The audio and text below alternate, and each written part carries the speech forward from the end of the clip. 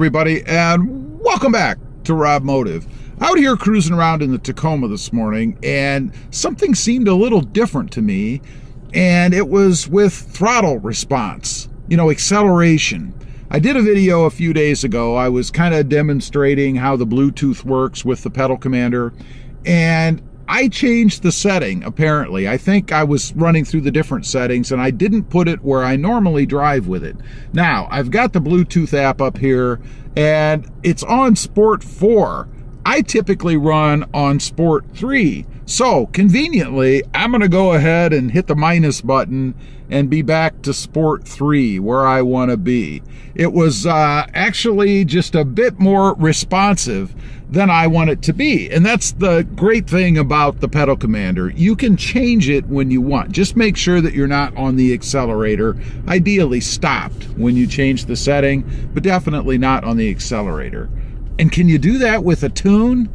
No, you're stuck with it. Anyway, I'm not trying to turn this into a, a pedal commander video, but uh, I just noticed uh, that as a little different this morning. So now it's back where I normally keep it. Anyway, what I wanted to talk about today were tires. You know, there's one thing that's very annoying when you change out the tires on your Toyota Tacoma, and all of us enthusiasts do it, right? We want bigger, meatier, more aggressive, meaner looking tires. So we go with the bigger tire. Well, inevitably, they lose pressure, and they seem to lose pressure quicker than regular tires, regular size tires do. I don't know why that is.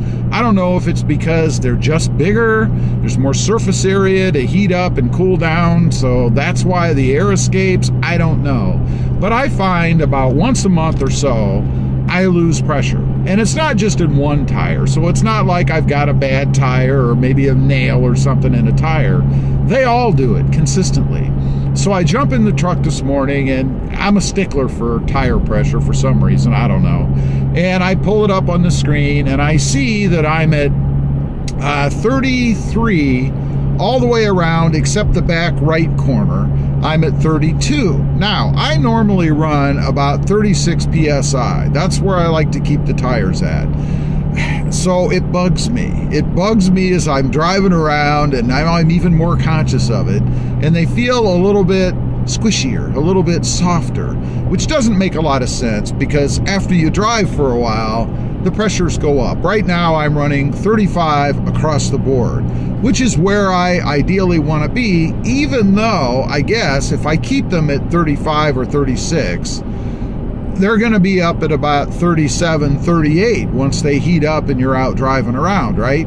So maybe it's not such a bad idea to set them at, say, 33, knowing that they're going to go up anyway and I'm going to get the ride that I guess I was shooting for. Who knows? But it's something to be aware of. And because of it, I went out and bought an air compressor. Now, this was several years ago. I got sick of going to the gas stations where you pull up and the gauge doesn't work, or the pump doesn't work, or it's so slow that you're there for three and a half days trying to fill up your tires. So that means you have to buy a compressor. So not only when when you spend the money or you spend the money for newer, bigger tires, you also have to invest in an air compressor. Now, I got one, and I'm not sponsored by anybody, but I got mine at Lowe's. Uh, it's one of those kind of cylindrical round ones. I think it's like five and a half to six and a half horsepower, something like that. And I find that you have to have one that's at least that size. Because if you go with one of those smaller oblong canisters, you know, the tiny ones that are a lot cheaper, of course, they don't fill up the tires very quickly and they they run out of capacity quickly. So you spend a lot of time waiting for the tank to recharge as you're filling up. And i think it's just because of the pressure in that bigger volume tire. Obviously if you have to put more air in it's going to take you longer to fill up but it's not that much air. It's only what the regulars run something like 29 to 32 i think something like that. So i'm really only putting in about three to four more psi than what i would on a stock normal size tire what i'll call a normal size tire. And i gotta think too or i have to say that even the one that i have at that rating is maybe right on the edge. I think if you got something that was more like eight horsepower, something like that, or bigger, then you start to get into those great big tanks, right? And who has room or wants to lug those around. But they're the ones that work better if you're in a hurry. And I'm pretty impatient when it comes to inflating tires. I don't like to sit there. I feel like I'm wasting my time, right? And why should I have to be doing it once a month? It's crazy. So it's just another thing that you have to kind of consider when you go with bigger tires as well as rubbing and all that stuff. I've talked about that on the channel. And I should give an update because my truck is not lifted, and I did go with a, a, bigger, more aggressive tire as far as really the width. I mean, I think height wise, it's negligible what I've got on here now.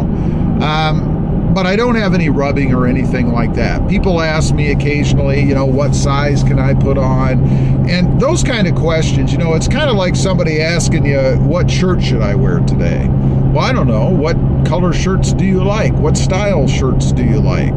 Uh, what are you going to wear it with? What clean shirts do you have? You know what I mean. There's all kinds of variables and things. I do have a video out there. If you search Rob Motive tire or tire size on the channel, there's a chart that shows what different tires you can put on your Tacoma under different circumstances. In other words, whether you're lifted, whether you're at one inch, two inch, I think it goes up to three inches, something like that, so that you don't have any kind of rubbing or anything. And that's the biggest problem with going with bigger tires, in my opinion. It's the rubbing.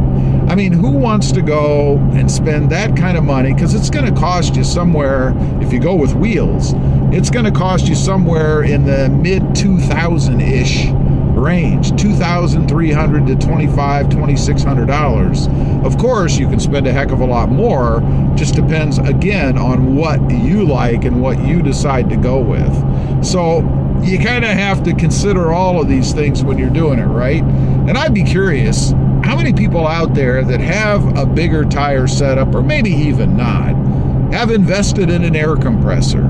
Or do you always depend on a gas station, or maybe even go back to the tire shop where you got the tires to have them adjust the pressures?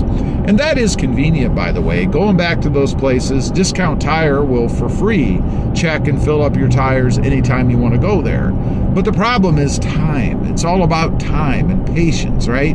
I don't like to wait. And if I go by that place, at least where I'm at, there's always a line. There's always people there.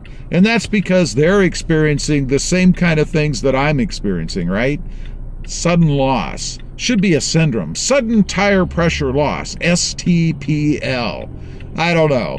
Anyway, leave a comment. Let me know if you've invested in a, in a compressor or not, or you go through that. I'd just be curious. Thanks for watching. Stay safe out there. Bye. Somebody just waved at me. They're driving a Tacoma. They must know what the channel is. Awesome. Whoever you were in that gray truck, how you doing?